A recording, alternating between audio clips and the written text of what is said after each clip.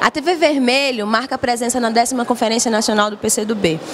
E aqui o debate segue firme e intenso. O Adson Ribeiro, deputado federal pelo PCdoB de Minas Gerais, está presente. O Adson, você chega na Câmara dos Deputados e pega uma sequência de lutas intensas, medidas provisórias, medidas e de ajustes, é, reforma política, debate sobre redução da idade penal. Então, assim, agendas nas quais o PCdoB acompanhou todo o debate né, e que está ali participando, brigando para que não haja retrocesso. qual é o resumo que você pode trazer para, nossa, para os nossos internautas no Portal Vermelho sobre o que está acontecendo no Congresso e o que é que significa se a gente perder direitos? Olha, eu queria falar de três aspectos, fundamentalmente. Primeiro aspecto que o Congresso ele tem uma pauta conservadora. Ele se renovou em 40%, mas essa renovação não significa a eleição de deputados e deputadas com origem nos movimentos populares, nos sindicatos, numa origem de esquerda avançada. Essa renovação se dá fundamentalmente a partir de esquemas familiares, né? Então, tem mais mulheres? Tem, mas são muitas mulheres que são mulheres de prefeitos, de governadores, de senadores, de deputados. Tem muito jovem? Tem, mas o jovem que é filho de deputado, de senador, de... ou seja, não teve uma renovação, não poderia ser, em qualidade do Congresso. E daí advém uma pauta conservadora. O Congresso quer reduzir, de fato, é, a idade penal é, o Congresso quer votar o orgulho heterossexual, o Estatuto da Família. É uma pauta conservadora.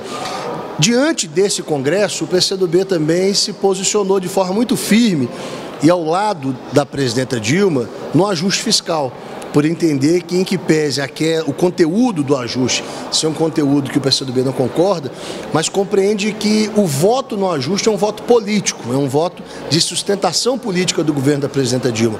Até porque qualquer desestabilização do governo não significa que forças mais avançadas irão assumir a presidência da República. Ao contrário, o que, o que surge como alternativa são forças mais conservadoras, portanto, um voto político de apoio à presidenta. E na reforma política, que eu acho que o PCdoB é, pode comemorar até aqui uma vitória parcial. Né? Para nós tem, três pontos que são mais importantes, dentre tantos outros, mas é o ponto do financiamento, das coligações e da cláusula. A cláusula de barreira é, nós conseguimos constitucionalizar, porque quando se aprova com 308 votos, nós aprovamos e constitucionalizamos essa medida, dá garantias de que partidos que elejam pelo menos um deputado ou um senador terão o direito de gozar plenamente as suas atividades parlamentares. Isso foi importante, para alguém mexer nisso agora tem que colocar outros 308 votos contra. Então nós constitucionalizamos. Constitucionalizamos também o direito de coligação que é democrático, especialmente garante a partidos menores, em estados onde é mais difícil a eleição, o instrumento da coligação permite você eleger um número maior de partidos, garante a pluralidade de ideias. Se alguém quiser mexer também, vai ter que colocar 308 votos, porque agora isso foi constitucionalizado.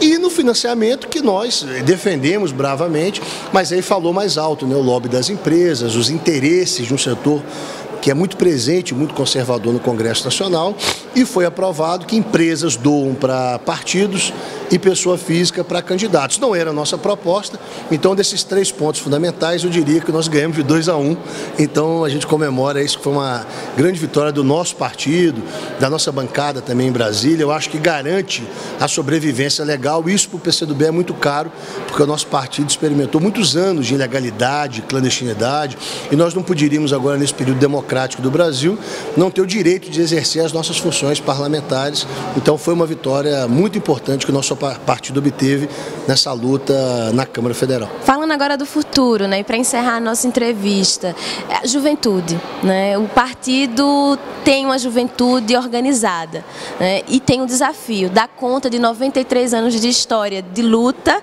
né, e de entrega para construir um projeto que mude a cara do Brasil e que, e que, e que transforme também a realidade no mundo. Né? Como é que você vê o papel da juventude, o desafio dela em dar conta e continuidade essa luta travada há 93 anos? Olha, eu acho que uma marca é, do movimento avançado, do movimento socialista, do movimento comunista, é, e também não foi diferente no Brasil, é uma marca de todos esses grandes movimentos, é uma marca de uma grande presença da juventude. No Brasil foi assim no tenentismo, no Brasil foi assim na Semana de Arte Moderna, No Brasil foi assim nas revoluções pela independência, em vários momentos da história, como o impeachment, como a luta pelo petróleo.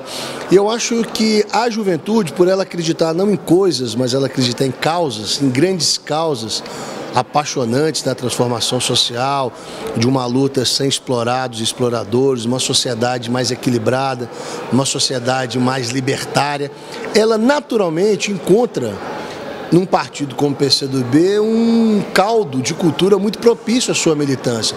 Por isso que o PCdoB tem 93 anos, mas ele é um partido jovem. Ele é um partido jovem porque as suas ideias são ideias avançadas, são ideias de um novo tempo. São ideias que ainda não prosperaram nesse tempo que ainda reina o conservadorismo, ainda reina um capitalismo totalmente desequilibrado, como sobre o qual nós estamos submetidos. Então, acho que essa presença de jovens no PCdoB diz respeito ao acerto né, das nossas convicções ideológicas, políticas, dos nossos sonhos e permite com que o PCdoB consiga, além dessa política, ter também uma grande organização voltada a essa política. Porque não, não adiantava só você ser ganho pela ideia, mas se você não materializasse isso em força motriz concreta, em organização concreta.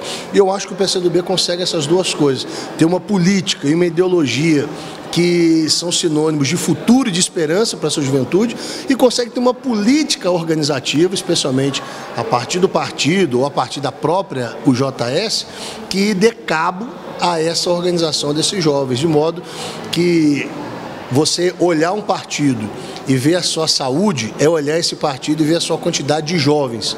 Então acho que a saúde do PCdoB, o futuro do PCdoB está nessa militância que tem muito ela é uma militância predominantemente jovem e jovens operários, jovens estudantes, jovens mulheres, negros, enfim, que são jovens que militam no PCdoB.